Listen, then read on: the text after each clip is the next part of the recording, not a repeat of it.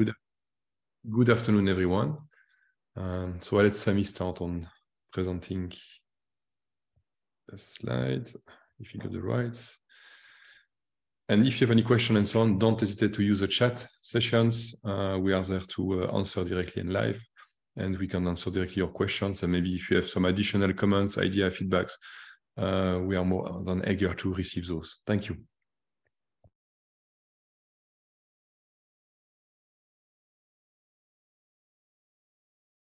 All right. Thank you, Alex. So let's see. Wow, almost 80. I'm really surprised that we are so many today. It's great to see. I must say it's a bit intimidating, but it's good. That means that uh, there's some traction and uh, interest for that feature. Oops, I'm already spoiling my slides. Not good. Okay. Um, so I have the chat open. Uh, similar to, to the training that was uh, carried out this morning, uh, we like our training to be like interactive. So if you have any question at any point, as Alex mentioned, feel free to use the chat and we can discuss a bit live. Uh, and I think it's especially interesting for today because um, it's an introduction to our new feature called MISP workflows. And yeah, I, I guess many people that are there today are willing to know how to automate things.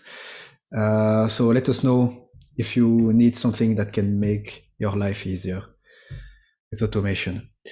But before we start, I actually have, similar to this morning, one simple question that I will ask to you.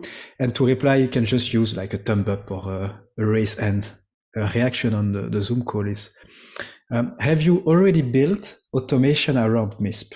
So by automation, I mean interacting with MISP in an automated way. So not with a human interacting with MISP. So if you wrote a script uh, that do an API call, if you are using the MISP workflow feature, that is automation. Uh, yeah, just let us know so that we can see. So I see few few icons. Cool. So I see not many people did it, or they are shy people, uh, but it's good. So I think the, the workflows are really a good introduction to to to to getting started in building automation. Uh, all right. Thanks, everyone, to, for for the for your reply. So let's see first before diving into that uh, MISP workflow feature what we already have at our disposal to build automation. Uh, well, the first one is obvious, I think is by using the MISP API uh, or using PyMISP, which is the, the, the, Python client that you can have to interact with MISP. Um, yeah, so this one I think is the most straightforward. It's the one that has the most documentation and the most example, I think. Uh, and just to make sure that everyone is on the same page, if you are just getting started, I think having a look at this Jupyter notebook is a very good introduction on how you can interact with MISP using Python uh, and the PyMISP uh, library. So feel free to check it out. Um, but one of the issue that you have when you want to build automation uh, and especially workflows uh, in MISP using this uh, API uh, is if you have recurring tasks, you need to put them in cron in a cron job. So it's not the end of the world; it's just a bit more work that you have to do. But depending on the task that you want to perform, it might also be heavy for the server, especially if you need to poll regularly your MISP instance uh, with complex queries. And last but not least, this is not real time. So if you want to be alerted that something happened, I don't know, uh, user logged in, uh, or uh, I don't know, a specific event with uh, a malicious uh, malware that you're tracking was created by someone, you will not be alerted immediately because you you would need that your script run, uh, and this this time can depending on how you set it up, uh, it can take sometimes. So the second system that we introduce to to have the access to this real time functionality is by using the PubSub channels. So in MISP you have two PubSub channels. We have uh, ZeroMQ uh, and Kafka. Um, and well, this is very good because you get, if you subscribe to this channel, you get alerted immediately of anything that happened on MISP. Uh, but the thing is, you cannot provide feedback to MISP. So if you if you see that something has been created, you cannot say okay, or something is about to be published. You cannot prevent the publication to happen with these channels. Um, and in addition to that, it's a bit tougher to put in place because you have to first of all write some scripting, uh, but also make sure that you integrate correctly uh, with the format uh, that uh, MISPen uh, will send on onto these channels. Um, so the, the main drawback of these two systems that we had already is that you cannot prevent default behavior to happen, uh, and it's tougher uh, to to set up hooks that would execute specific action once something happened. So this is the main reason why we developed this feature is to tackle these two aspects. Uh, yeah, so these are some example of things that users uh, would like to prevent um, when they're using this. An example could be prevent the publication of an event. So let's say that you are requiring your uh, users to have strong contextualization on the event. And if it's not uh, passing some contextualization sanity check, uh, you don't allow the event to be published. This is something that you can, this is an issue that you can address by using workflows. Uh, another example could be like preventing query of third-party services with sensitive information. And that point is very uh, interesting because this morning, I don't know if the guy that asked it uh, this morning is still there, uh, but someone asked for exactly that feature. So how can, uh, how is MISP behaving uh, with uh, third-party services queries with data that are marked with, for example, TLP red or PAP amber and PAP red. this is something that you can address by using these workflows.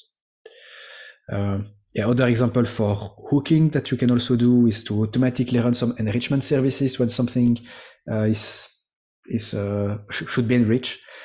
Uh, we'll see example on, for example, to to get DNS information of uh, uh, domain names and so on.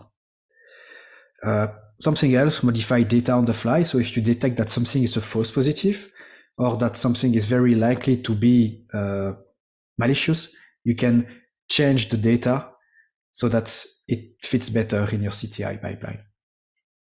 Uh, something that is also cool, sending notification to chat room. So instead of receiving an email, you could set up MISP to send message to Mattermost, Slack, uh, Teams, Microsoft Teams, stuff like that. Okay, so this was a, a good introduction of what you're trying to tackle. So why did we do do that in the first place? Well, it's because we are crazy about automation. We love things to to interact with machines and so on. Uh, and we wanted to empower users to really use our tool uh, in a more efficient manner. Uh, the how you will see how we did it. Uh, basically, you have a, a, UI interface where you can drag and drop modules, uh, link them together, enter condition, uh, and then try try these workflow workflows out. Uh, something that is really interesting is the share workflows aspect. So we've designed a system that you will see uh, in uh, the dozen of minutes that allows you to also share because in MISP everything is about sharing. So obviously you can also share your workflows. Uh, and uh, this is something that we've started to, to like populate. So we have created a repository that holds some useful workflow that you can immediately use on your MISP instance. And for this one, uh, if you have already IDs or even if you have already workflow in place, I'm inviting you to share them with us so that it can it can benefit the entire community. And yeah, the community could, could even improve this workflow. So it's always good to, to share. Sharing is also about collaboration and giving feedback. So yeah. Okay, so what we are going to see today. Um, so this training, uh, it says that, uh, no, it doesn't say that it's a workshop. That is good because it will be mainly about presentation. So I will be mainly presenting the feature, explaining how to do things, uh, show, showing some examples, uh, using the system live. And at the end, we'll show how you can extend that, uh, that uh, functionality to, well, that feature to add more functionality. So a bit of fundamentals, the annoying part. That we try to make it a bit uh, entertaining. So how does that work? Uh, this is how I like to see to see it to, to see it. Uh, it's pretty straightforward. At the start, you have something that happens. So an event. It's not like a MISP event where you can encode attributes and so on. No, it's just generic event. So an action happen. Uh, then you can have optional condition that have to be satisfied or not. And depending on the result of this condition, you can have some action that can be executed. An example would be uh, to uh, actually have example on the, the, the next slide, but uh, action can also prevent the original event that was there to happen. So what kind of event are we talking about? If a new MISP event is created, this time I'm talking about the actual container of information. If an attribute uh, is saved, if a new discussion post has been started, if a new user is created, if a query against a third party service is uh, being performed and so on. So all of these actions. Uh, but in MISP, we have action that do not run a workflow for the moment. Uh, what do we have? Um, trying to think about something. If you create a proposal, for example, or maybe this one is already covered. Anyway, some some action do not don't have a trigger associated to it. What I mean by that is if an action can run a workflow, then we call it a trigger. So all of these are trigger. Um, but for example, user login, I, am almost sure this one uh, is not supported. So you cannot run a workflow once a user logged in. So we don't call this this event a trigger. So basically, in MISP, a trigger is basically an, uh, an event that can run a workflow.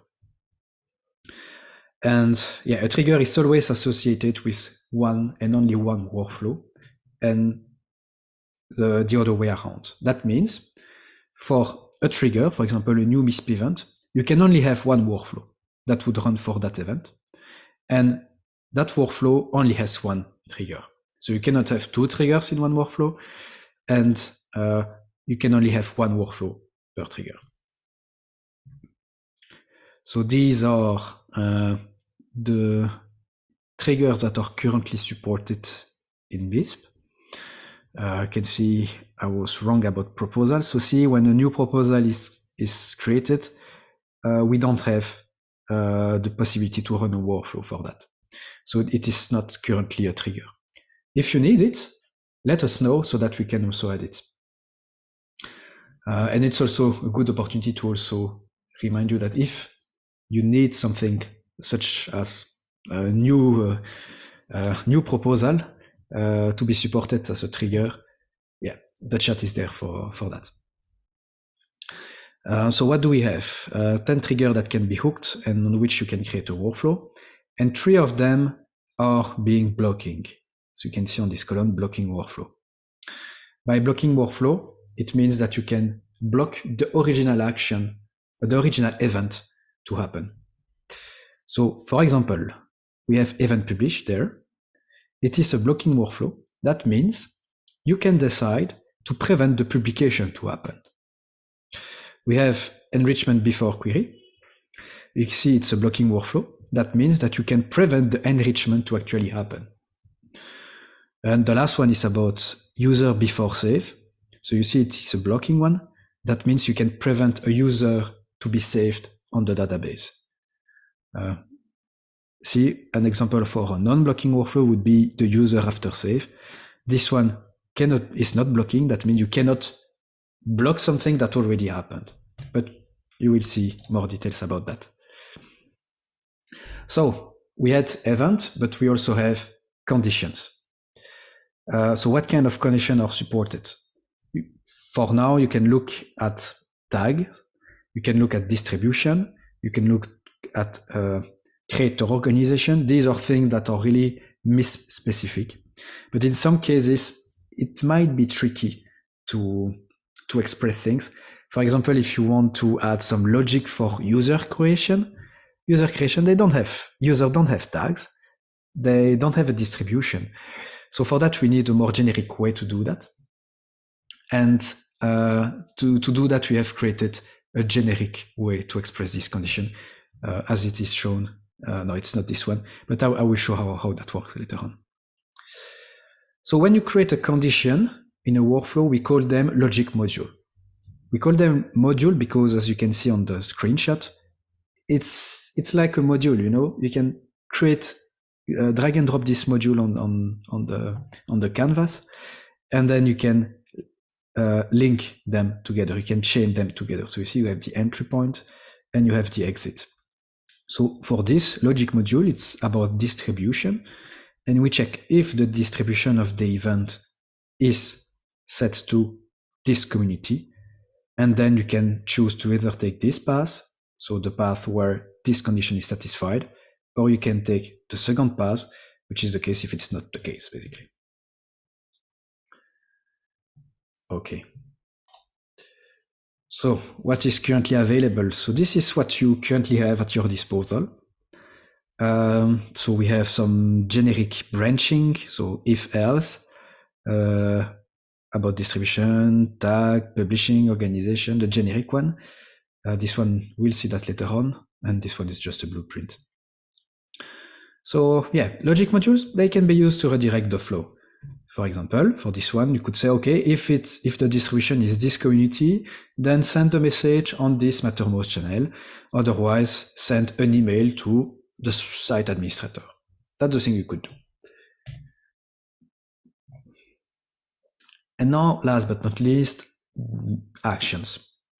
So for action, you can do, for example, sending an email, performing enrichment on the event, sending chat messages, attaching tags, so that means modifying data. Uh, and similar to the logic modules, we call them action modules because it's a module. You can put it on the canvas and then you can link them and chain them if you want to execute one or more actions. So the one you have currently on the screen is the action module to send the mail. So you can set uh, the recipient for that mail you can set the template, uh, the template of the subject of the mail and the body of that mail. And you can see data is coming from the left, then the sending happened, and then on the right, you can perform more action if it's needed. And this is what you currently have uh, by default on your instance. Uh, so I already mentioned some of the action that you can do. Uh, you can run custom notification, you can run custom webhook. Uh, you can add or remove tags, perform enrichment, and uh, yeah, stopping the execution. This is a special case. This stop execution module is the one that can uh, allows that allows you to block specific things to happen for blocking workflow. But we'll see that in practice. So I've been talking about workflow, but what is a workflow in MISP? Uh, well, the screenshot that you have on the screen is a workflow. It's basically the sequences of all connected nodes. Uh, so for this one on the left side, you have the trigger, so the event publish. Then this one is linked to a logic module, which check the distribution of the event. And then based on the satisfaction, it will take one of the two paths. If it's true, then it will stop the execution. So in this case, if we were to put this workflow and enable it on this, because you can obviously enable and disable workflows, um, this workflow would prevent any publishing of event that is lower uh, than the this community distribution setting, because the stop execution would prevent the event publishing to happen. So how would that work for this one? I think we already saw how we, how would it work, but let's uh, give it a run again. So if an event is about to be published, then the event publish trigger will start. So this one, it will start and the, the workflow will start its execution. Then some optional conditions are evaluated, similar to this one, and some action can be executed. So if if it's a success, or if nothing happened, well, or if you send the mail and it was a success, then uh, you will have a log entry saying that the workflow executed and it was a success and life goes on.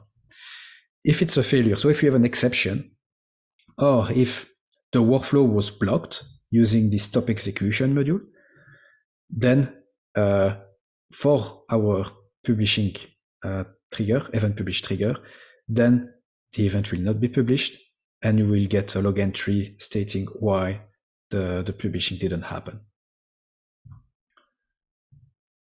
Okay, so let's quickly see. Okay, last slide. Blocking and non-blocking workflow. Uh, as I said, we have three that are blocking currently and seven because we only have 10 triggers for now that are not blocking. So for blocking workflow, you can prevent the original action to happen, such as publishing.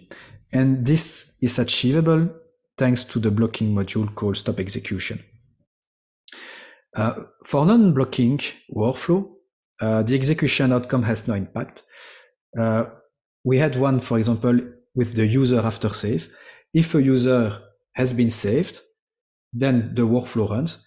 But if it's a failure, if you stop the execution, well, the user already has been saved. So there is nothing to do.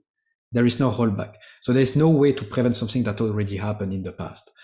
So that's stopped there. So that's why we have these two. And this icon can easily recognize them when you're editing your workflow to see, okay, can this workflow block the original action or not?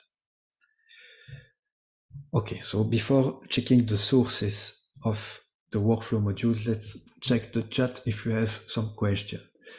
Trigger to delete event after a particular time. Okay, this is a very interesting question because um, what we call trigger is actually something that can happen on MISP. So what you are requesting there is a trigger that execute after a particular time. But we don't have a particular time is not an action that can happen on MISP. So for that one, you would not use workflow for that. You would use uh, a script that you would put in a cron job that can do like uh, retention and some database cleaning. Um, I would not put it as a trigger. Now you can create a workflow that can filter out some specific event uh, and then execute some webhooks to clean them. Uh, but they need a starting point. And this is what these triggers are about. It's the starting point of a workflow. So it needs to be an action that happens some at some point on this. A particular time, as you as you phrased it, is not something that happened. I think the example that he gave, if I'm not misleading, was a feed update. So he was basically ingesting feeds, updating a MISP event, uh, and then publishing it. So my guess in this case, the trigger would be a publication of event. So that means when you republish an event after that you import it into the feeds, which usually happens when you import feeds. Then uh, you would clean up this event based, for example, on uh, uh, decaying or things like that. So, for example, older data get removed there. Yeah. So what you mentioned with publishing, the publishing workflow will execute, but the data that is being passed from the publishing action to the workflow is only about this event. So if you want to publish this event, I mean, I guess it's because it has new information, so it doesn't need a cleanup. Uh, I think it's, it's more it, the older attributes that are a specific threshold, for example, mm. would be to be removed before doing the publish actions. So that's the publish is trigger. So it won't be blocking. It's just that in any case, every time that there's a new field imported, it's basically clean out based on a, I don't know decaying okay. templates. Okay, so I see. So in this case, that would be something like uh, event after save or event after save new. Exactly. Yeah. That that would like do some sanity checks on the attribute, and if this check doesn't pass, remove the attribute. That is something we could do, but you cannot like remove an event like this because that would need that you would need to run the workflow against all event that means we, you would need to find a trigger that can ex execute on all event. Yeah, that means for for for this use case from Praveen, mm -hmm. that would be more like when they import the feed, it needs to mm -hmm. be a mm-hmm. fixed event, and then to basically being triggered like you, you were mentioning, uh, specific publications. Yeah, yeah. yeah. I, I, I like that aspect. Yes. So just talking about that, we can immediately see we don't have a, a trigger dedicated to feed pull. We have one that says after save new, after save new from pull, but we don't have after save new or just after save from feed, from feed pull, let's say. So yeah, that's something that we could add if some people are interested. So let's go back. Okay, cool. That was a interesting discussion. so sources of modules. Oops. So we have the triggers. So these ones. Uh, these ones, you cannot really like create anything out of it. These are developed by the MISP project development team. So if you need something new, you have to let us know and we can add it. That's why we say that uh, it's MISP source code only. Uh, so this module can only come from the MISP source code, basically. Now for logic and action, it's a bit more special. You have access to all the logic and action module from the MISP source code, which are the one that you can see on the screen. These one, they are built in, they are shipped with the application out of the box. Uh, but you can also have customs that you can create or that you can use other services such as the MISP module enrichment service to add more, more of this module available. Uh, so for MISP source code is built in uh, and custom, uh, well, you can write it in two places. So let's, let's have a look at what you can do. So the default, as I said, are part of the MISP code base. Uh, uh, for uh, like logic and action modules are part of the MISP base as well. So tag operations, sending mails, stopping execution, webhook, and so on. Uh, it's like a buffet. You you go there, you use them, and and that's it. If you develop a new one, obviously get in touch with us. Uh, share it, share the code with us so that we can include it and everyone can benefit and provide improvement for that module. Um, but you can also define your own module. And I think this is the most interesting part in that feature. Uh, you can create it. Uh, the first option that you have is to, well, use the programming language of the application, which is PHP. Uh, so if you want to define a new logic or action module, you can write it in PHP. Uh, I know it's not really, let's say, super convenient for those who are not used to PHP. It's not really the most attractive programming language, uh, but it has some benefits. Uh, being that you can extend already existing module. So for example, if you want to be more precise on tagging, well, you can just extend this one. Uh, to give another example, the Microsoft Team Webhook module is actually an extension from the Webhook module. This one is like four or five lines of code. So yeah, just to integrate, it's much easier if you use the heritage. Um, and you can also reuse code that is already in MISP. So if you need to do some special operation, uh, like enrichment or stuff like that, I mean, you have access to the whole MISP source code and you can use it right away. But I agree, it's not the most convenient way to do it. That's why we also added the possibility for you to do it in Python. Uh, so for that, we are using the MISP module enrichment service library. Uh, so obviously it's in Python. You can use any Python libraries that you have at your disposal. For example, the Mattermost module that we have is actually coming from the MISP module uh, repository and is using the Mattermost uh, uh, Python library directly. Okay, so we have some demo by example send an email to all when a new event has been pulled. So, so let's see.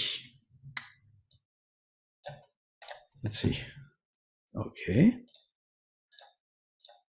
This is good. So to access the workflows, what you need to do is to go on administration and then workflows. Then you have the list of all triggers that you can uh, create a workflow for.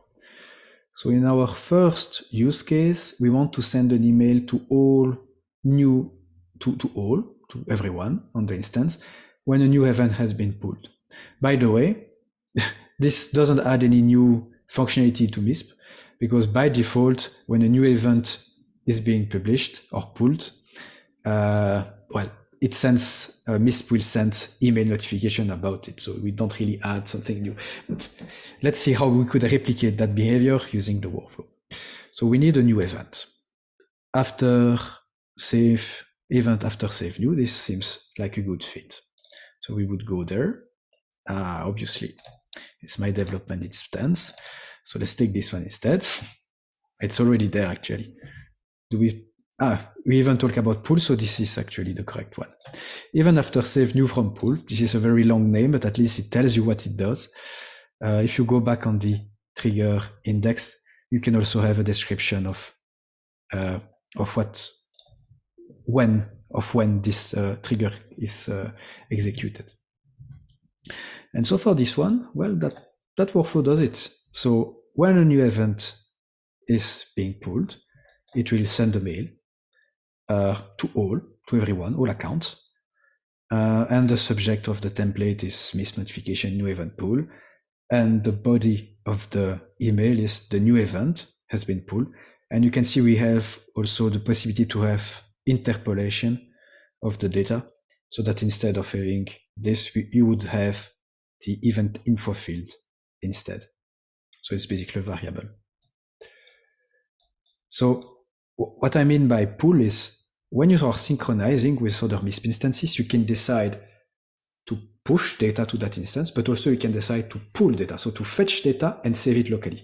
This is what I called by pulling. So in this case, whenever you your MISP instance initiate a pull synchronization, uh, it will fetch all events on the remote side, save them locally, and execute this workflow for each event that that uh, that have been saved from that pool. Okay, so what is the second use case? To block queries on third-party services when the TLP red or notice the or PAP red tag are applied. So we have a small reminder of what these two tags are. So TLP red means for the eyes and ears of individual recipient only. And PAP red means only passive actions that are not detectable from the outside. So for that, what we want to have is to have to block queries on third-party services. And for that, we have enrichment before query. And it says this trigger is called just before a query against the enrichment service is done. So let's open it up. And ooh, we already have it. So, so what do we have? We have our trigger. Then we check the tag because TLP red and PAPREDs are tags that can be attached to attribute. And if this attribute has any of these tags, we use the order, notice, PAP red or TLP red, then if it is the case, then we stop the execution, meaning that we would, we would prevent the enrichment to happen. If the attribute doesn't have PAP red or TLP red, then the condition is not satisfied, nothing happened, and so the enrichment process is not blocked. All right, so let's see if there are any questions. Uh, okay, pull, it means event from built-in ICC. Uh, no, the, the pooling operation here is not from feeds, it's from synchronization of MISP instances. So not from uh, this, but it's from this. Yes, exactly as Alex said. No, currently we don't support that for feed. As I said, if you really need this, let us know and uh, we will see how how much the community want that feature integrated and how fast you guys want it. So let's go back. So getting started in using workflows. So if you haven't updated your MISP instances since August, I guess it's a good time to do. Uh, so update your MISP instance and make sure that all submodules are also updated By sub module, I mean uh, the different taxonomies, the different galaxies, uh, and obviously, if you want to access the whole uh, buffet of uh, action modules that are offered by the MISP enrichment service, make sure to also update your MISP module. So let's see how we build a workflow. So let's see, prevent event publication if the TLP red tag is set. And then we'll do the second point, and then we'll do the third one. All right. So let's see how we can do that. Uh, this one. So we want to prevent an event to be publish, published if it has the TLP red tag. All right. So to do that, we go back to our list of trigger, and then we will take the event publish trigger. We'll edit it. So you can click on this edit associated workflow button. You can see I have a lot of stuff already. So let's get rid of that. Let's take back our trigger and let's see what we have. Uh, actually, I will start it from scratch so that it's better. So what do we want to do? Prevent event publication if we have a TLP tag. So first, let's add a mechanism to prevent the publication. For that, I will take the stop execution module and I will put it on the canvas. Then what else do we want to do? Uh, to block if it's a TLP red tag. So for that, this is about logic. So I'll click on logic and then take the if tag conditional module. So I've connected these two. So now if an event is about to be published, we will run this module, which will check against the event. We check if it, this event is tagged with TLP red. So now we have, if an event is about to be published and it has the TLP red tag, then we prevent the publication. We save it. And that's it. Now we have the workflow in place. So right now we cannot publish any event with TLP red that are tagged with TLP red. So what is the second point? Second point is send the mail to this user account about potential data leak. Ah, so we need to send a mail. We take send mail, send mail module, and then what? Ah, we don't have a, an output there. So what we need to do to get rid of that link and do it like this. We change the recipient because we want to send it to admin at admin.test. We can further edit the subject and the body by clicking on this button and say something like potential data leak. The event, uh, and then I don't know, event.id. Uh, was about to be published but has been booked. There we go. This is good. Now we can save. So now, if an event is about to be published and it has a TLP red tag, MISP will send a message to this recipient with this subject and uh, body, and then it will stop the execution, so it will prevent the publishing to happen. Good. So what's the third point is to send a notification on Mattermost uh, that the event was published because it's another why. So if the event doesn't have TLP red tag, then send a notification on Mattermost. So for that, we'll take Mattermost. Condition is not satisfied. So if the event doesn't have the TLP red tag attached,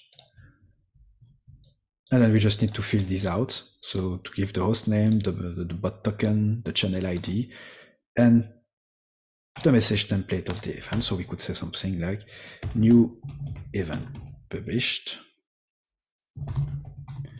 And then we could say, for example, this one, this time use event dot info to have access to the info field.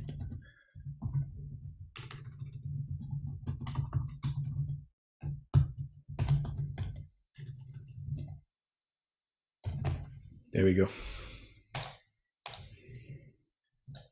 And that's it. So now we've built our workflow that would do exactly that.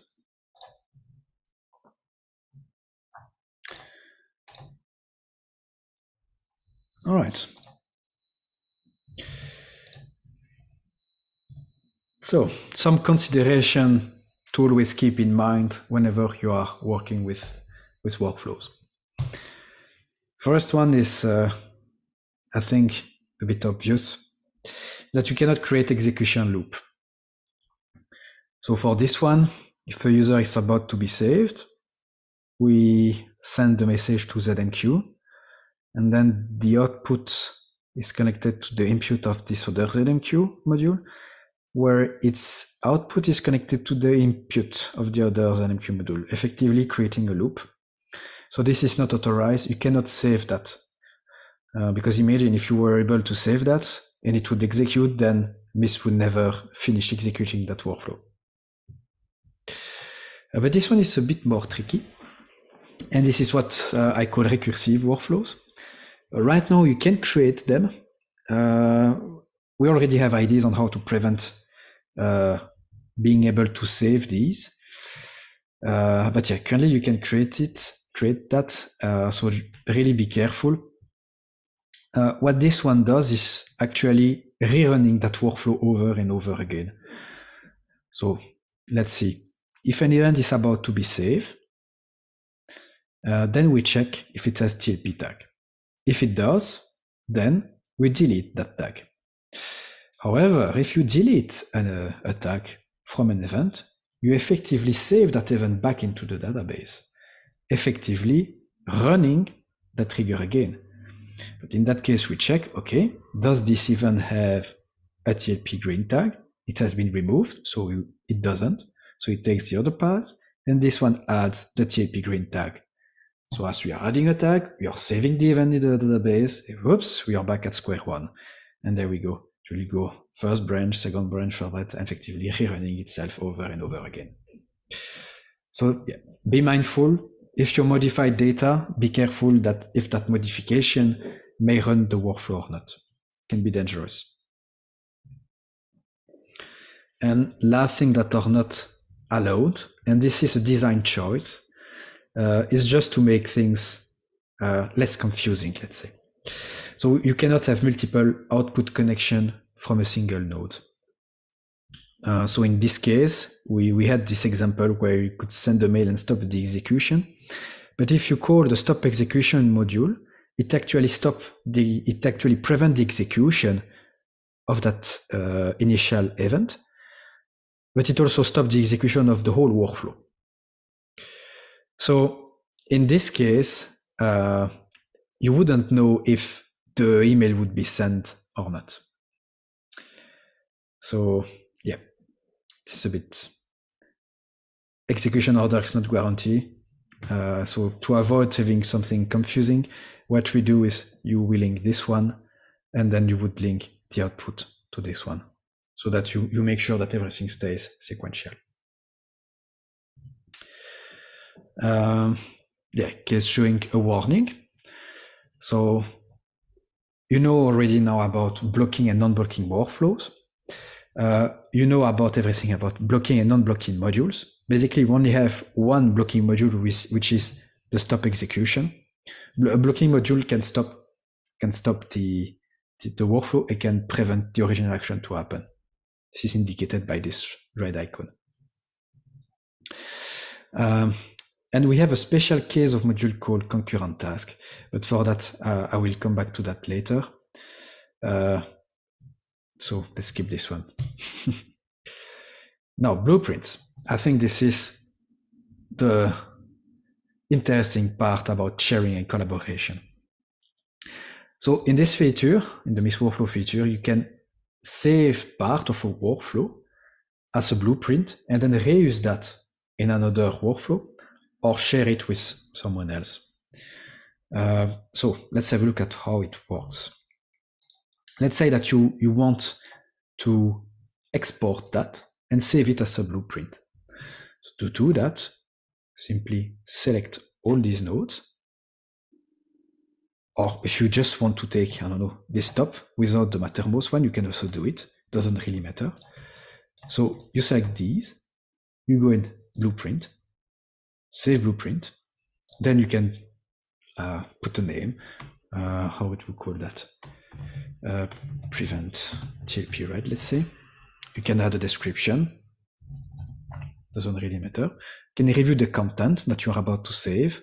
So one stop execution module, one tag that has one parameter set, uh, the sent mail, and the Mattermost one. That's fine. Can click submit. And now, if you want to reuse the blueprint, let's say in another workflow, let's open this one. You can go on the blueprint section, scroll a bit, take this one, put it, and there we go. It restores the entire workflow that uh, workflow subpart that was created. Uh, so in this case, we we have saved how nodes were linked, but also the parameters. So it's really useful uh, if you want to reuse workflow part. And oh,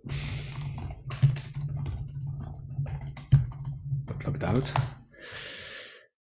And you also have access to all the blueprint that you have locally so that you can download it, so export it, and then you can later on uh, share it with someone that can import it in their MISP instance or just copy and paste the, the stuff there. All right. So we have a GitHub repository for that called MISP Workflow Blueprint. Let's have a look. Oops, MISP Workflow Blueprint. Up. So it's a a whole GitHub repository. Uh, you, we we have few few blueprint already defined there. Uh, so if you have a look quickly, we have one that uh, attach TLP clear on attribute that uh, already have the TLP white tag set. So this is a, a, a way on how you could, for example, uh, uh, attach both TLP clear and TLP white on, on event. Uh, but also it's, it's also a way for you uh, to replace uh, TLP white by TLP clear. Uh, now, what else could you do with these? Uh, can this one is also interesting. We'll see. We'll see that also in the example uh, to disable the IDS flag uh, of some attribute. Uh, another one that can prevent, and this one we already did actually, that can prevent queries on third-party services if an attribute has the PAP uh, red and uh, or PAP or TLP red tag set. All right. Okay. So let's see. Do we have a question? Uh, but multiple input are allowed. What? Yes, you can have multiple inputs. Uh, this is if you if you have branching, so that you can connect uh, them. So just oops, I closed the chat. Wait, wait, wait. There we go. So if I go back to this one, uh, let's take this one again. Uh, so in our case, we could do something like this. Would be so in this case, you, we would send a message either to by mail if it's TLP red or by Mattermost if, if it's not TLP red. But in the end, we could just stop the execution. Okay. So what else do we have on our slides? Data format. Hmm. So you remember we in this event publish one, we could use some variable there because when a workflow starts, it, it gets some data as input that is being passed on from module to module. So for an event publish, obviously the data that is being passed is the event. So this module receives the event so, so that it knows how to check against this condition. Uh, and then this one, uh, if you send a mail, if you want to have variable interpolation, then, uh, well, you need this module, this module needs to have data. So now let's have a look at what what is the data format that is being passed from module to module. And as one would expect, it is uh, the MISP core format. So if you're not familiar with the, the MISP core format, uh, we have a complete RFC uh, that, that describe that, that format. So let me open the GitHub. Oops. Uh, so we have the complete specification of the MISP format, or how we call it the MISP core format. Uh, can have a look. Uh, it is described quite extensively. Um, but for that, if you want something more digest, I refer you to our slide deck that I will paste in the chat called A11 MISP data model. Part of it was shown this morning during the training.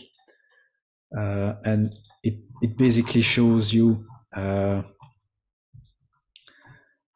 the format for each entity in MISP. So for example, in an event, you have the, the, the JSON representation, so the MISP format for that event. So you can see an event has some meta information such as the info field, timestamp, and so on, and then the attributes, the object, event, report, and so on. And you have the same for attributes. You have the same for object. So yeah, I refer you to to that to that uh, slide deck if you want to learn more about the, the data format. Uh, so what is being passed from module to module is this MISP core format. And we have few changes, uh, which are not, uh, actually, no, these are not changes, these are additions. First of all, we make sure that attributes are always encapsulated in an event or in an object. So if you if you do an enrichment, you don't do enrichment against an event, you do an enrichment against an attribute.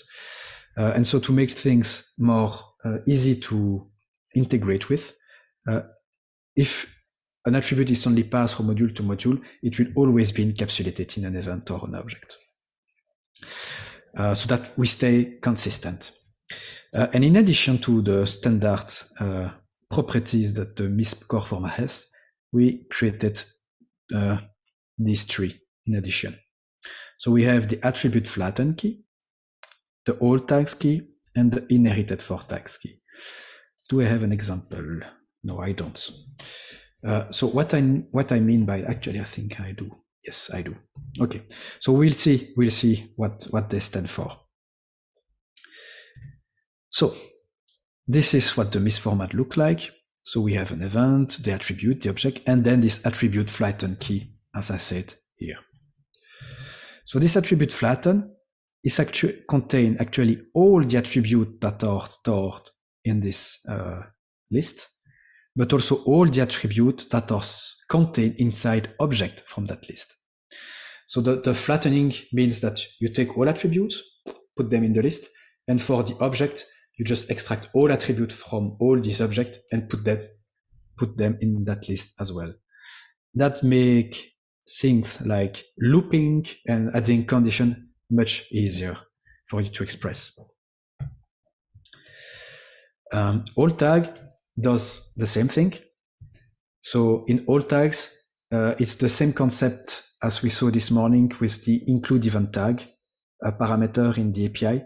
So all tags we, is a key that would contain all the tags that are attached to the attribute, but also all the tags that were attached on the event that gets propagated on the attribute. So that if you need to loops, to loop on all the tags on an attribute, the one that are attached and the one that are propagated from the event, it's easy. It's just in one key. Uh, and for all tags, you have this inherited flag that allows you to say, okay, this tag was inherited from that uh, from that event, or it's not inherited and it's actually attached to the attribute. Okay, so now that you know about the, the, the format, uh, let's talk a bit about hash path filtering. But for that, I will try to use an example. So let's say, let's see if I have one. Mm, mm, I do. Oops. So for event publish, let's say that you want to enrich uh, all attribute from an event whenever it is published. For that, you would use the enrich event. There we go. And then you can choose the module for which you, you want to run the enrichment. So if you want to uh, perform DNS enrichment for all attributes, you could do it like this. But now what if you want to do that enrichment, but only for attributes that have, for example, a specific tag? So in this case, what you will think first, you will say, okay, I will add this module, add tag condition, do something like this. Uh, and then if it's a TLP red, I want to add this, uh, this enrichment. But no, you're not really executing this module on attribute that have TLP red set. You are just saying, okay, if I have an attribute that has TLP red, I want to execute this one. But you are not saying, I want to execute this module on all attributes that have a TLP red tag. So to specify that you want to execute uh, a module on a subset of the data, you would need to uh, to use what we call, uh, and it's not there, it's not an issue, to what we call module filtering. And you can achieve that by clicking on this small button. So in this interface, you can you can specify on which element you want this module to be applied. So in this case, uh, you have to provide a selector to your data and then a condition. To go back to the slide, the slide includes the syntax and how you can use it to uh, to express conditions. Uh, so this is uh, what we call hash path expression. So if you have that that data set, so a list of users, have some IDs, the name and surname. Uh, if you pass this path expression, so to loop on all element of the list, and then filter on uh, the element that have the name Fred, so the, the, the first two, and then extract the IDs, then you would have that as a result. So for example, to express the fact that an attribute has the tag TLP red, this is the format for an attribute. So you would use the hash path the following. So access the attribute key. Then you see it's a list of attributes. So you have to loop over that list. Say that you want to extract the tag key and then the name of the tag. And actually I'm missing one. See, I'm missing a loop there because you can have multiple tags. And so this one uh, would work. So if I do that, TLP red in this one, if it's valid, then it will take this branch. Otherwise, you take this one. Okay, so let's let's try something. Uh, let's create a fake event for workflow.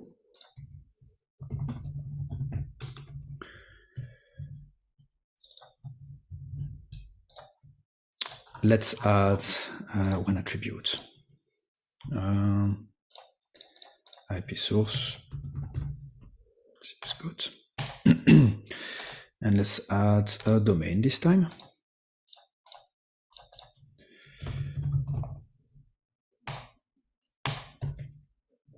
Now is the time where everything doesn't work, and I pray that the demo god will be kind with me today.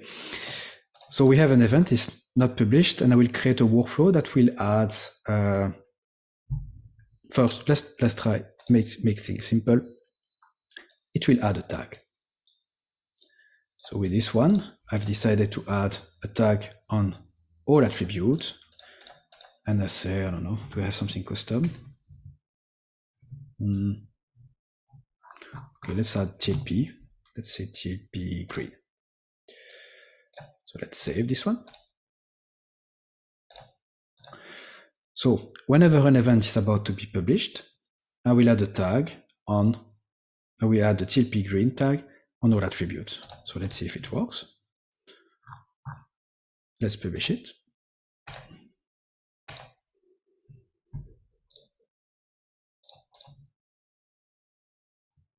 Event has been published and I have my two tags added. Good. So now let's say that I only want to add a tag on that attribute. To do that, I need to use that module filtering condition. So this is where this attribute flatten comes handy, because if I had object there, I would not be able to, to access the attribute of the object without having to do something like this. And if I want to apply that on both this uh, list of attribute and the one without object, it will be difficult. So that's why we have this list, which make things much easier. So now we are looping on all attributes. And I want to say, okay, if my attribute uh, is has the type uh, domain, then I want to apply my tag. So I think that should be correct. Uh-huh. Okay, let's save and let's try. So I need to unpublish my event. Now let's publish it again.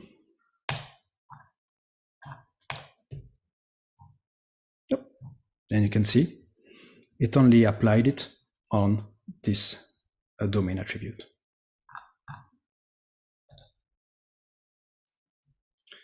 Cool. So now you know how, how that how that works. Um, if you need more information about this hash path uh, filtering and so on, you have built-in uh, uh, helper there. You can click on it. You have the concepts, the terminology, and hash path example that you can use. Additionally, in the repository, the blueprint repository that we have, we have some that are fairly complex. Uh, let's see if I have it. Uh, for example, oh, this one, I remember this one is very cool. Oops.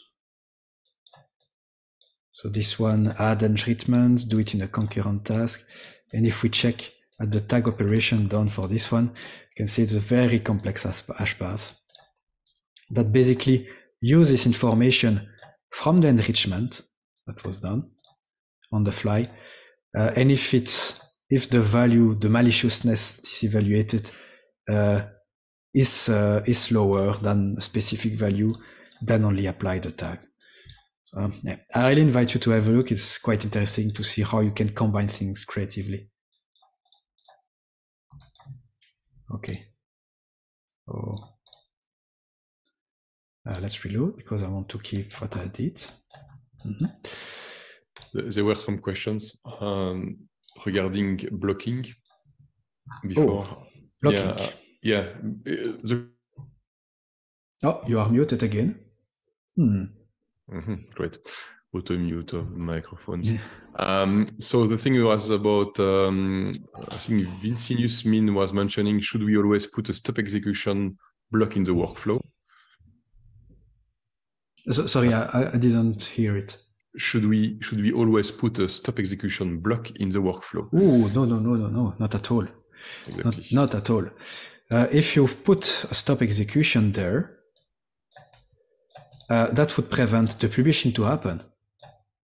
So let's try.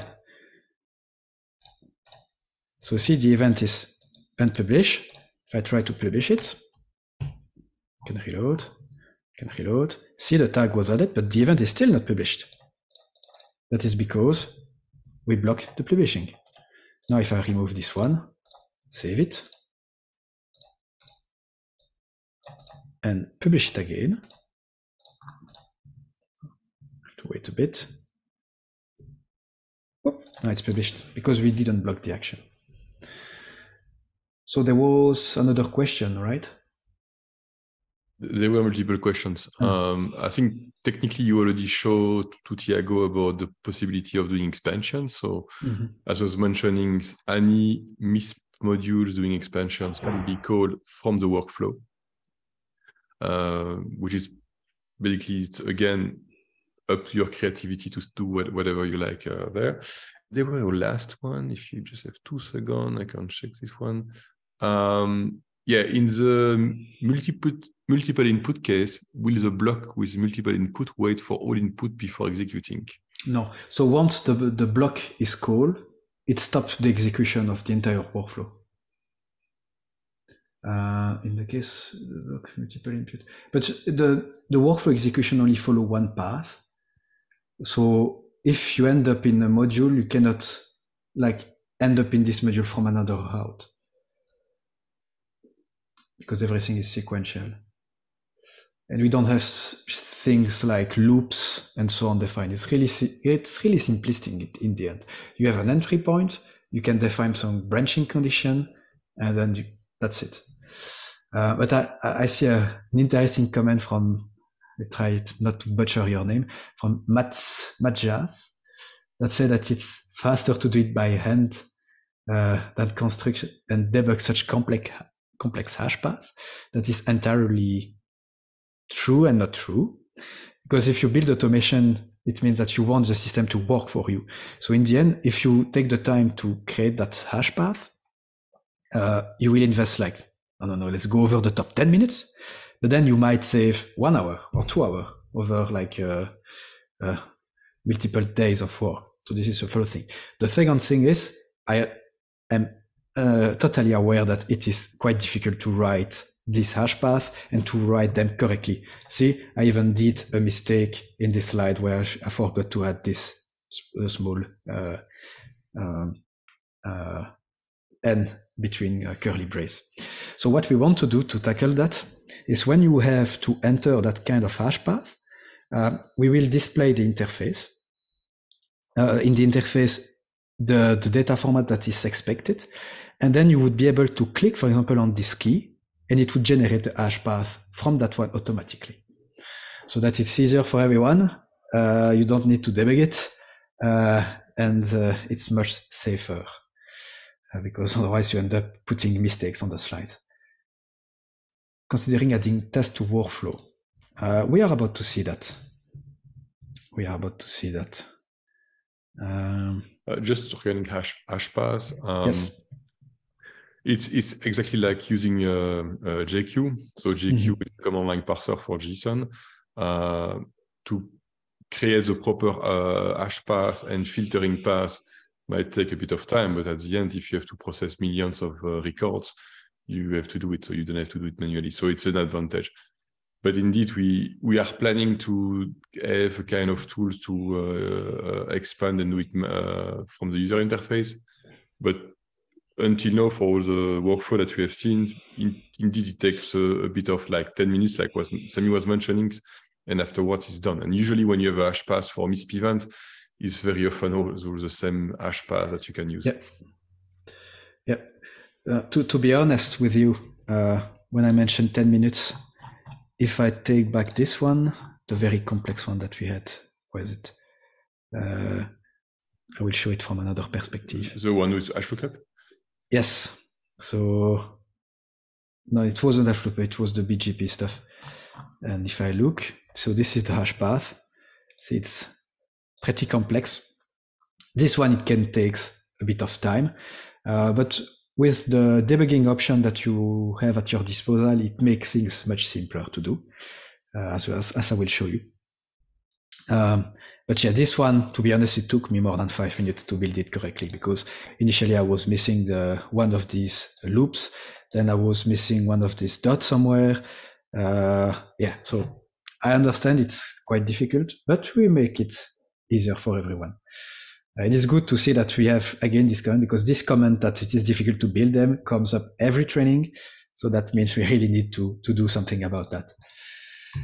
Uh, So before going about debugging and testing workflows, I just want to mention one last thing. It is the one that I've skipped already, the concurrent task module. So this is a special type of module. Uh, and it allows multiple output, as you can see. I said that you cannot have multiple output, but for this one, you can actually. And this is the only module that allows you to do it. So the idea of this one is you postpone the execution of all the remaining module and they will be run concurrently. So for this execution, you will end up in this concurrent task and then push to ZMQ webhook and Mattermost will happen concurrently. And this also converts a blocking workflow into a non-blocking one. So to give an example,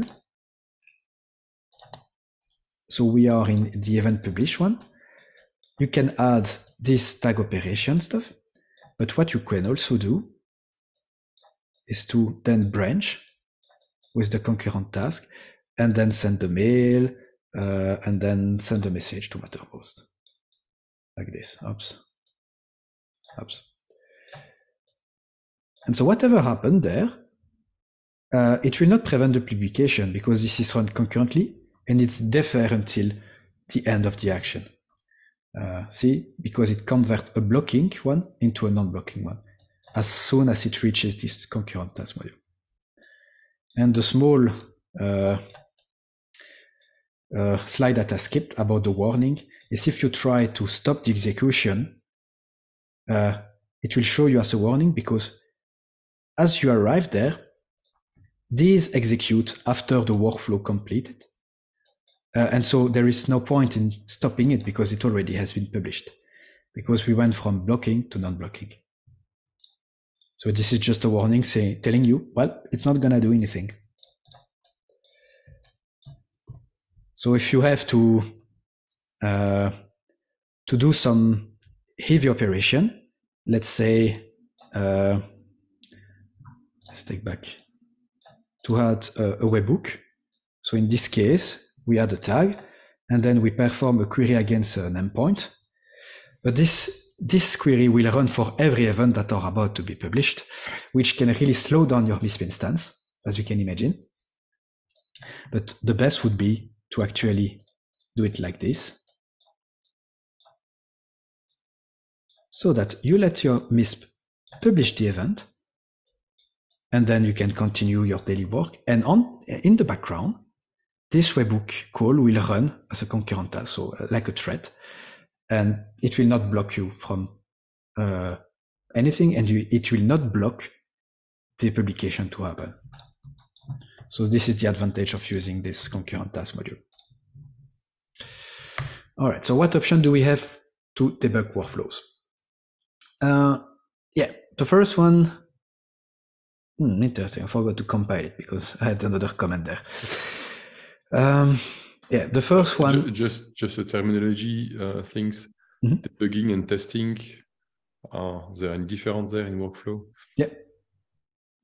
Uh, yeah, it depends of what you consider testing. For me, testing is like trying a workflow and running it until I achieve the expected result. Uh, for that, I, I have a slide for that. But it's not like test case where you make sure that the workflow does as, as, as you would expect. It's not really that. Um, so for the debugging and especially to view the execution of a workflow and its outcome, you can have a look at the application logs. Uh, right now, everything, every time a workflow gets executed and it finishes, you will get a log entry. This is extremely verbose and we received many comments saying that it was too verbose. So we are considering phasing this feature out uh, maybe put it as a configuration uh, because it's generating too too many log entries. But the second one, we will probably keep it to store the execution on a dedicated log file. So we, you might have noticed that I switched the debug mode for some of the workflow on and off. This is really what I call live debugging, where if you enable it for a workflow, uh, for each node that are about to be executed, it will send its data to uh, a specific debug URL that you provide. Uh, and then you can view this uh, later on or live. So if you want to do offline debugging using this uh, debug URL, you can use uh, the webhook listener uh, Python script that we have created under the tool folder. Uh, if you want to test workflow against sensitive data, I highly advise you to, to use this offline mode. If it's just with test data that you want to try, you can use uh, like request bin or similar website uh, to debug it. So I think it's a good opportunity and idea to show you how that works. So yeah, let's let's take this one. Let's enable the debugging. Let me bring uh, request bin. Oops, there we go. So this is all the requests that will be uh, arriving. And now let's run this workflow. So I need to unpublish, then publish. Now the publishing job has been queued and the workflow should be executed. And you can see we are receiving the request. Uh, unfortunately, and this is because of request bin, they are out of order. It's a bit annoying, uh, but basically it starts with the init and then you will have the different node execution and then it's it's uh, end with the end. So if you took have a look at init, you see uh, well the data that is being passed uh, and some additional information. Then for the exec, you see again the data that is being passed uh, and the, parameters, the filter that were set. Remember, we set a filter for the type to be domain. Uh, yeah, so you see, you see this. And the last one tells you about the outcome of that workflow. Uh, so you have all the nodes that were executed, uh, if there were some blocking nodes or not, if there were some paths that were blocked, and you see a, a summary of that in this interface. Uh, the reason I, why I like to use request bin is because you can quickly browse uh, and you have like a, a good visualization of, of all of this. Okay. So let's go back to the slides. If you are developing your own module, uh, or you want to try uh, an action module, we also have uh, stateless execution. So let's let's give it a try. Uh, I will take MISP. I will go on the list of modules. So this is all the modules that I have locally. And I want to try, um, yeah, let's take the webhook one so that we can immediately have the result on the left side. Let me clean it. Uh, so I have to paste the URL. So this is the URL of request bin. Uh, yeah, and I can put I can put some data. So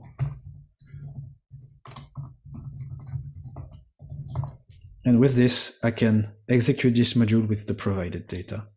If I execute it, I see through, and then I can see the request with the data that was passed. So if you need to, like, if you are developing your module, you want to try it out, uh, or to see how a module would behave on the provided data, uh, feel free to, to test it. So once again, to access this interface, you have to, to list all the modules that are available. And when you are viewing one of these module, you see the details about this module. You can then run a stateless execution. And last but not least, and this is what I was telling you about testing workflows, you can also, uh, yeah, provide data and ask the workflow to be run. So let's try that. So let's go back to our workflow. Oops, let's reload. So we have this one. I will get rid of the TLP green tag so that we can see that it executed. I will grab the data that I want to run because this workflow has to, to have input data because when an event is about to be published, we need the data about that event so that we can run it. So if I click on run workflow, I can paste the data that will be fed to our workflow, which is basically the event in this case. If I click on run, we have the outcome. We see that it is a success. And if we check our event again, you can see that the tag was created. So if you need to quickly run workflow and so on, especially for publishing and stuff like that, it's really painful to go there, unpublish it, and publish it again. In this case, you just paste the, the data and then run, run, run, run, run, and you can try, try, try it out. Don't forget to save the workflow every time you do a modification.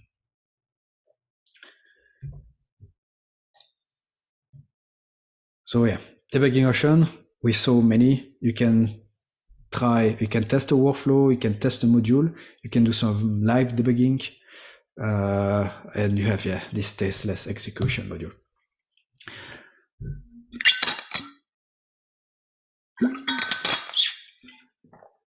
Now, probably the most interesting part for some of you, how can you extend that system? So remember I mentioned there are two ways to do it. You can either do it by writing a PHP module, or you can do it by writing a Python module. So for PHP, uh, well, it's under this location. So you have to put your PHP file with the name of your module and Misp will automatically pick it up. So it's just uh, almost drag and drop. Um, so yeah, we've made the system so that it can be easily extended.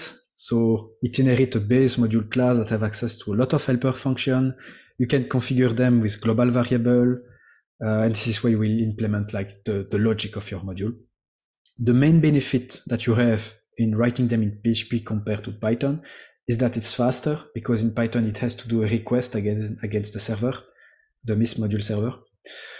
And um, yeah, also you can reuse a lot of existing functionalities uh, that you that you have uh, in in the Misp source code.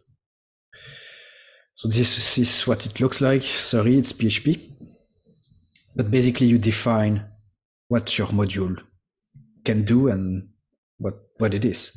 So currently we are viewing a blueprint of an action module that you can just copy paste. So you can define if your module is blocking, if it should be disabled by default, the name, the description of your module.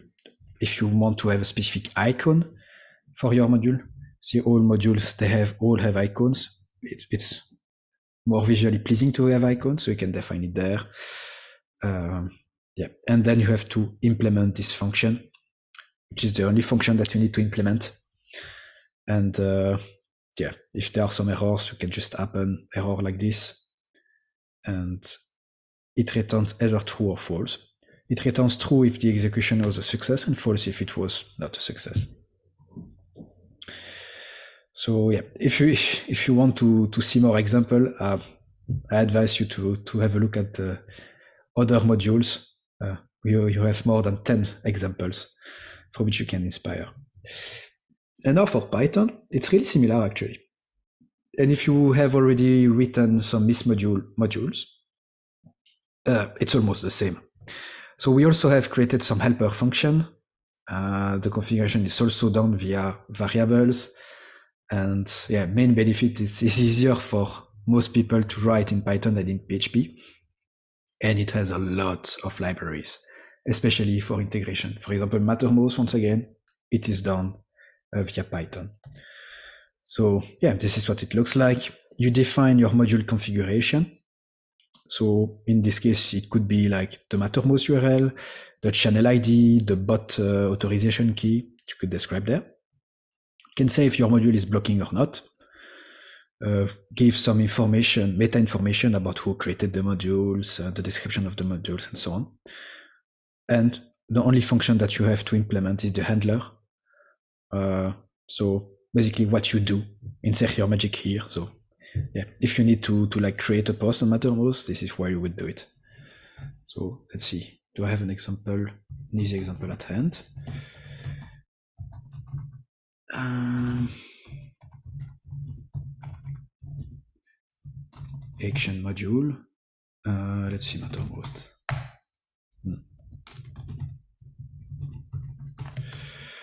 See, we have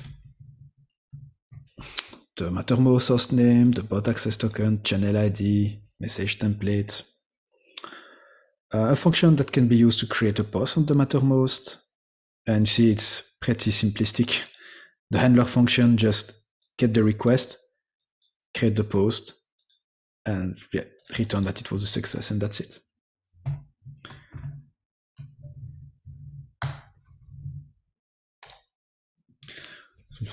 All right, we are almost done with uh, this feature. So some ideas that, that you could do with, uh, in addition to what we saw today.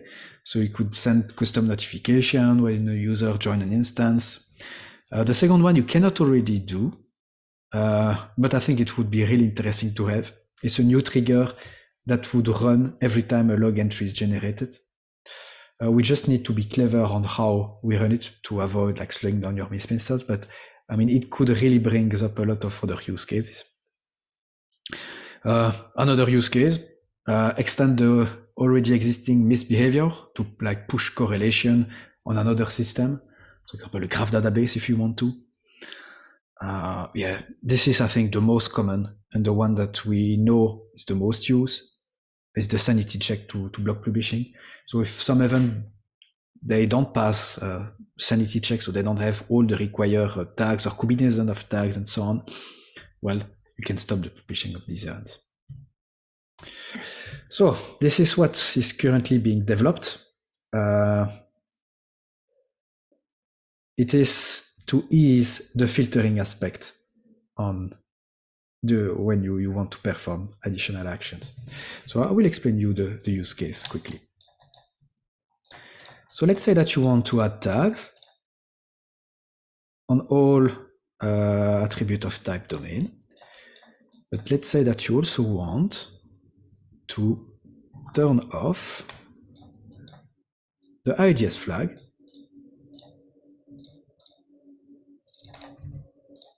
of these same uh, attributes. So it was domain, yes, uh, equals type. There we go. So for this one, and actually I want to, to, to do it the other way around, sorry.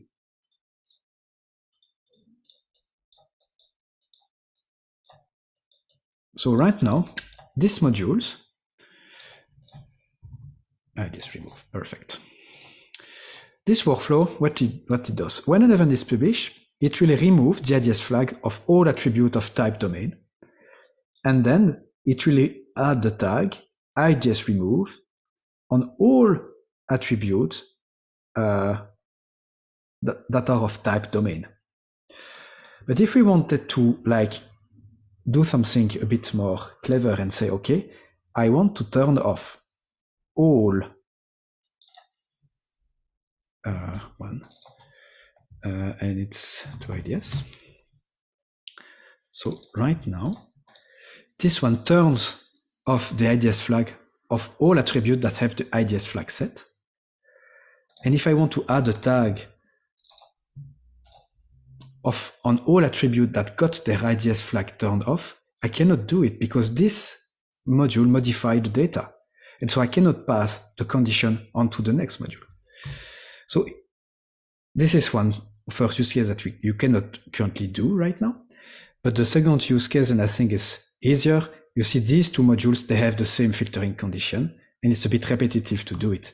So if you, if we had a way to filter the data, uh, to apply a filtering on the data and then to be able to reset the filtering later on, that would be much simpler because you wouldn't have to mod modify these two modules, but you can also be more flexible on what you, you what you uh, on what uh, on what part of the data you want to apply your module. So this is what is currently being under development. It's two new modules. The first one called filter generic. The second one is called uh, remove filter. Basically, you define a filtering using hash path. You assign a label to this filtering. And so the data that is being passed from module to module is filtered under these labels. And if you want to get rid of one filtering, uh, you can use the remove filter. So in this case, we remove the filter B. And yeah, so all the modules that execute uh, where their data has this filter active well, they will only apply it on the, the filter data. Uh, I hope it was more or less clear. I know this is really difficult and tough to, to understand, and maybe I'm not clear also. It doesn't help. Uh, but the best would be to, to, to like try it out with the module filtering, see the limitation, and then you will understand why this is really useful. So in addition to that, what are we planning to do in the future for that workflow feature? Well, obviously it's to add new modules, so to add new action module. And I guess these action module, they will be coming from the community. So the Microsoft uh, Teams webhook, uh, that, that is coming from the community. And I guess we'll have some other modules coming uh, soon, hopefully. Uh, same for conditional modules. So we, the new module that was created uh, not so long ago. This one was developed because of we had a specific use case, but obviously when we need something, we develop it and then we make it available for everyone. So if other people have needs for a specific logic module, uh, I hope they will also share it with us. Third one is more triggers. Uh, I mentioned to be able to run workflow when a new proposal is created that is something that we could do. It was mentioned in the chat that we could also have triggers when an event uh, has been created via a feed pull. That would be also an interesting trigger to have. Uh, ride mode documentation, prevent recursion. Remember that uh, recursive workflow that would run itself over and over. This is something that we also want to add. And yeah, I think that's uh, already a lot of task to do. So to quickly summarize this very long presentation, um, we designed this, this feature to make it easier for people to integrate and to automate things. If you have already a complete CTI pipeline in place, uh, this feature is not meant for you to replace your CTI pipeline by, by the workflows. It's really not the, the intention. The intention is to make things easier. So if you feel like it would be easier for you to migrate some of your CTI pipeline into this workflow feature. Feel free to do it. Uh, but yeah, I think it's just a simple way, hopefully simple, to cheaply create automation with this data. Uh, so we have a small disclaimer saying that it's beta. Uh, yeah, so the feature is unlikely to change, uh, especially the data format. I highly doubt it is likely to change. Uh, but yeah, we are still receiving feedback and sometimes very good feedback about it so that we can create improvement and so on. So keep them coming and uh, let us know if you need something about that feature. New triggers, new modules. Anyway, thanks a lot, everyone. Uh, that's that's it for me. If you have any question, uh, additional questions, things that you want to see, and so on, let me know. Uh, I will be monitoring the the, the chat.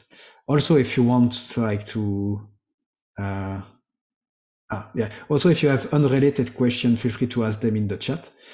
Uh, what we can also do is maybe stop the recording so that you are more at ease to ask questions. Um, I will stop the recording. Yes, thank you.